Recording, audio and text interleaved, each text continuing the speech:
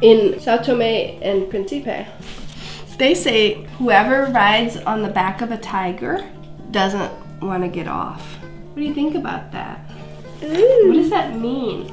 Somebody who rides on the back of a tiger is afraid to get off. Why would they be afraid to get off the tiger? Because it might bite. That's right. Why else? I know. How would you get off?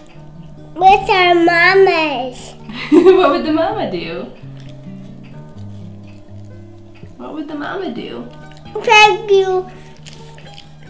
Um, help you off. Yeah?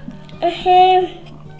That's a great idea. Maybe in life we all need somebody like a mama, right? Yeah. Somebody who can help us. Yeah. Are there people at, in your life that you can help? Like Papa and Mama. hmm But who can you help when somebody's in trouble? Maybe Sonia. Oh yeah, your friend Sonia. Here, let me cut that for you.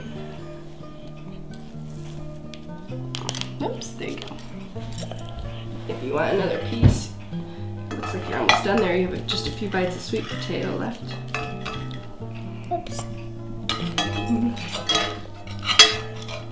You want some more, sweetie? Yeah.